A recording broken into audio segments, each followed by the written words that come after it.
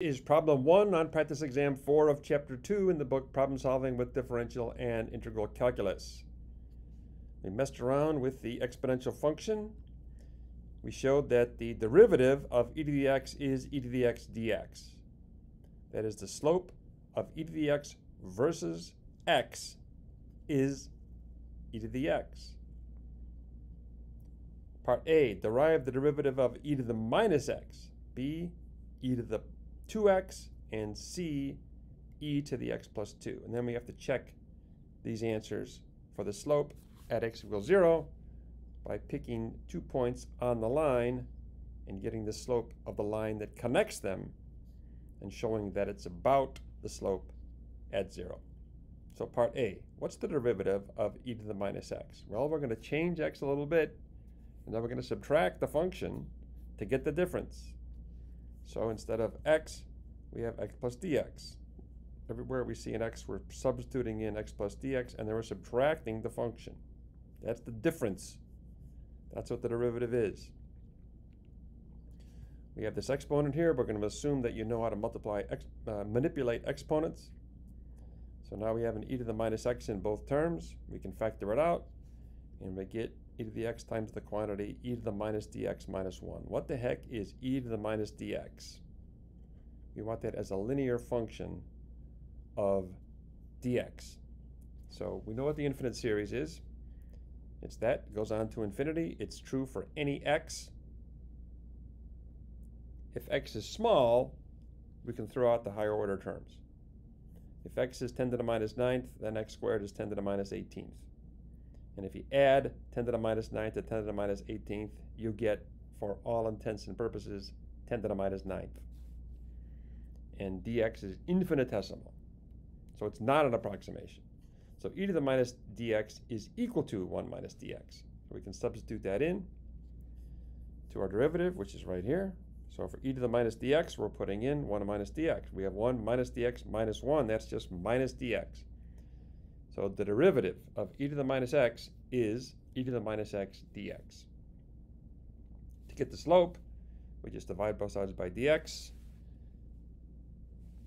The slope of the line of e to the minus x versus x is minus e to the minus x. And we're going to show that later. We're going to confirm that later. Part B asks for the derivative of e to the 2x. So wherever we see an x, we're going to substitute x plus dx, and then we're going to subtract the function to get the difference when you change x by a little bit. So again, we're going to write the exponent like that. We're going to factor out e to the 2x, and we get this. Now we have to know what e to the 2dx is. Well, we have an infinite series. x is small, 2dx is also infinitesimal, just like dx. So we plug in 2x to this 2dx to this series, and we throw out all higher order terms. We can put this back into our derivative. We get 1 plus, d, plus 2dx minus 1. That's just 2dx. So this is the derivative of e to the 2x. It's 2 e to the 2x dx. And we can get the slope by dividing by dx slope of the e to the 2x versus x is 2 e to the 2x at any x. Part C, the derivative of e to the x plus 2. Again, for this x right here, we're going to substitute in x plus dx. Looks like this. Then we subtract the function. There's three things we're adding here, so we can write it like that we have an e to the x and an e squared. We can factor them out, and we get this. We have to know what e to the dx is, but we know that, right? It's 1 plus dx. Substitute that into our derivative. We get this. 1 plus dx minus 1 is just dx. And I'm going to write e to the x times e squared as x plus 2. And that's the derivative. The derivative of e to the x plus 2 is e to the x plus 2 dx. To get the slope, we put the dx on the other side. So the slope of e to the x plus 2 versus x is e to the x plus 2. Uh, if you're remembering rules in calculus, uh, this is e to the x times e squared. So e squared is just a constant. It's just a number. So they say e squared goes along for the ride. It's there at the beginning, it's there at the end. We like to figure it out. So now part D asks us to confirm our answers for the slope. So we're going to get the slope of a straight line from x equals 0 to x equals 0.001. Two points close together on the line. So our expression for the slope of a plot of e to the minus x versus x is the derivative, which is minus e to the minus x. That's the slope. We're going to check this answer. First, we plug in 0 to get the slope at 0. If x equals 0, e to the minus x is 1, and there's a minus sign out front, that's minus 1. So we get minus 1 for the slope at x equals 0. It's heading down with a slope of minus 1 the value of the function. So this is the slope. This is the function itself. This is what we're plotting. You have to keep them, keep them straight. They look alike, but this is the function. So we plug in 0 here. e to the 0 is 1. And then we plug in 0.0001. We're moving over 0.001 from 0. You plug this in, e to the minus 0.001 is 0.9990005. 5. So now we're going to get the slope of the line that connects these two points that are very close together. It's the change in the function divided by the change in x. The change in x is easy. It's 0.001. We went from 0 to 0.001. To get the change in the function, the rise, we just subtract the final minus the initial. So that's minus, this minus 1 is 0.00099995. This thing is really close to minus 1. And we're happy about that because that's what we got for the slope at 0. This is the slope of a line that connects two points very close to 0. So they should be the same. Let's look at a plot and see what it looks like. This is the function itself. It's going down. The run is 0.2 minus 0.1 to plus 0.1 and it looks like about 1.11 and that's about 0.91 so 0.91 minus 1.11 is minus 0.2 minus 0.2 over plus 0.2 is minus 1 that's the slope of that line. And note that we're using the 0.001 which is really small in here.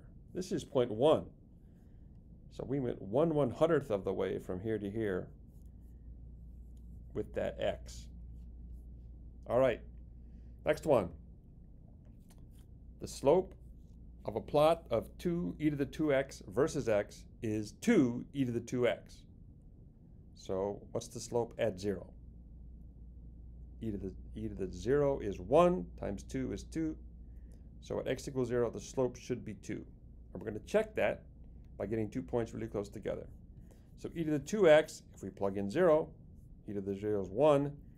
If we plug in e to the 2 times 0.001, which is e to the 0.002, we get 1.002002.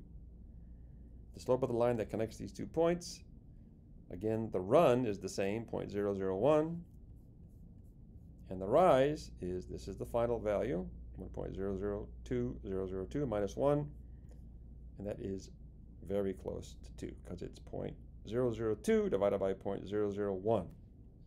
And that's what we got for the value at 0. And here's a plot. So this is 1.2, that's 1.25, looks like about halfway, so that's 1.225. This also looks like about halfway, 0.825, and the run is the whole thing, which is 0.2. 1.225 minus 0.825 is 0.4. 0.4 divided by 0.2 is 2, which is confirms our previous answers.